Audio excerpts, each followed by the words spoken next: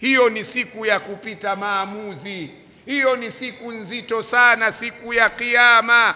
Ndiyo allah anaizungumza katika sura hii. Yeye maula lmawali anasema fakaifa hali itakuwaje hali itakuwaje waislamu? Idha jamaanahum. Allah anasema tutakapowakusanya walimwengu liyaumin katika ile siku la raiba fihi. Siku ambayo subhana wakati anatuteremsha katika dunia alituagiza wattaku yauman turjauna fihi. Mnakwenda duniani duniani wala msiogope. Ogopeni siku ya kurudi tupo eh? anatuambiaje? Allah tuogope siku ya kurudi. Anatuleta duniani anatuambia msiogope kwenda duniani.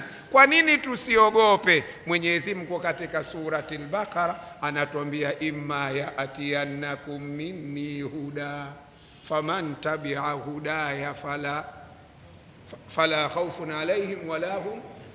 Hakuna sababu ya kuhuzunika katika dunia shafahamu hakuna sababu ya kuwa na hofu katika dunia ikiwa tutaufata mwongozo aliyouleta allah ndio pale tunapopiga mfano aliyotengeneza panado ameandika maelezo katika karatasi akatia katika kile kiboksi cha chupa ya panado ya maji eh? au katika kile kipaketi kilichowekwa panado za vidonge eh? Akaeleza maelezo. Hata ukiwa na homa ya kiasi gani utaratibu wa kula panado ule vidonge viwili kila baada ya masaa manne. Sawa ukijifanya una wazimu ukaamua kwa homa niliyonayo kali ngoja nichukue kichupa kizima nga nga nga nga nga au ngoja nichukue hii paketi nzima sijui ya elfu mbili ile ukaamua kuvitoa mule ukaamua kunywa vyote sasa panado si dawa kwako. Ishakuwa sumu na itakuua. Ndio maana hii dunia alipoiumba mwenyezi mungu akatuletea haya kitabu hiki. Ametuletea kitabu hiki kwa sababu gani? Ili tuweze kupata salama ya kuishi katika dunia. Sasa ndiyo akatwambia mnakwenda duniani imma yaatiyannakum minni huda nawaletea mwongozo faman tabia hudaya fala khaufun alaihim wala hum yahzanun.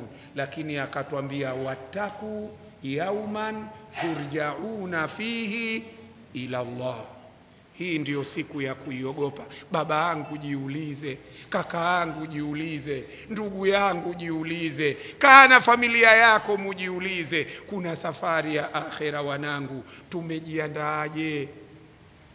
Kuna safari ya akhera mke wangu tumejiandaaje? Mwamshe saa nane. Alafu mwambie mke wangu na jambo nataka kukuzungumza. Ye moyo utampiga labda anahisi kama umemfumania fulani eh? Tampiga moyo pa mboni saa hizi mume wangu tulia. Au anadhani labda anataka achwe anakupenda sana alafu umemwamsha saa nane. Hapa pana talaka nini? Naambia tulia. Alafu muulize mke wangu mungu katwambia sisi tuiogope siku ya kurudi kwa allah tabaraka wa taala. Mimi na wewe tumejiandaaje na safari hii kama akiwa mke aliokuwa hana maana. Ebo kuniamsha katika usingizi wangu mie kumbe kwa jambo hilo? Huyo mwanamke ikiwezekana hafai. Umefahamu eh? hafai. Ikiwezekana huyo hafai. Tayib fakaifa idha jamaanahum hali itakuwaje? Tutakapowakusanya walimwengu liyaumin katika ile siku la raiba fihi. Siku hii kupatikana kwake hakuna shaka. Waislamu hii siku ipo. Sawa? Wanufikha fi suri faidha hum min alajdathi ila rabbihim yansilun. Qalu ya wailana man ba'athana min marqadina jawabu litakuja hadha ma waada arrahman we wa sadaqa almursalun.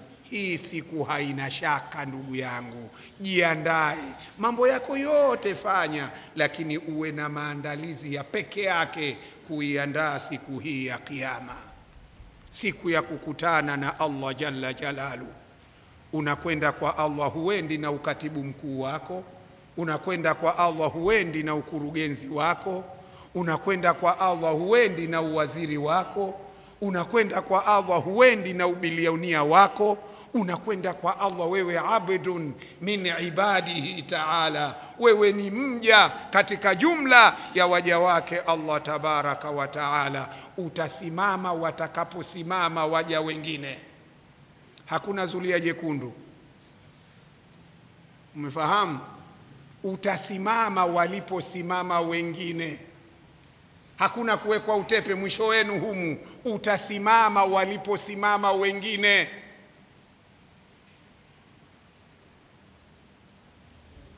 Tayib,